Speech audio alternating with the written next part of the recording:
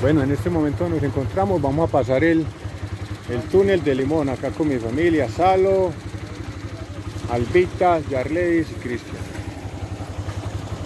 Ahí vemos otro,